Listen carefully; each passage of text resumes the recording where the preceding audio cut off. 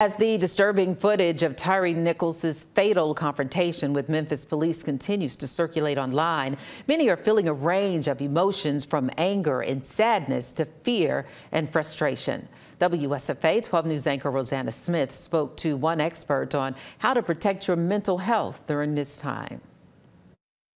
The graphic content in the Tyre Nichols video released just days ago is raising concerns about how it might impact mental health. I am a proponent for protecting your mental health and emotional health at all costs. And for me, that means not taking in the images from the video of Tyre Nichols being murdered. Psychotherapist Candace Anderson says a type of trauma that usually results from watching these kinds of videos when there is police brutality or an injustice is called injustice trauma. It can affect people in different ways. If you are feeling less trust, in the system, if you are feeling like you are constantly in survival mode, trying to be safe, trying to remain vigilant to make sure that you're okay, your family is okay, if you feel a sense of loss of control, these are some definite signs. And watching the video can be particularly triggering among black people. So my message to black men, to brothers would be,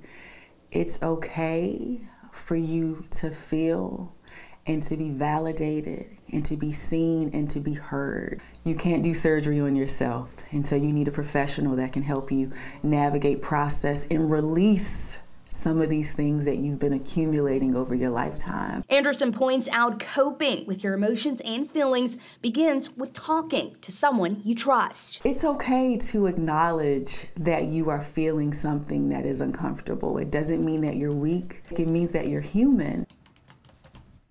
And Val Anderson also really encourages everyone, regardless of their race, to show kindness and care and empathy during this time. And mm -hmm. remember that even if you don't know what to say right now, that is okay. Being present can really make a difference. It sure can. Just being silent and being there. Yes. Absolutely.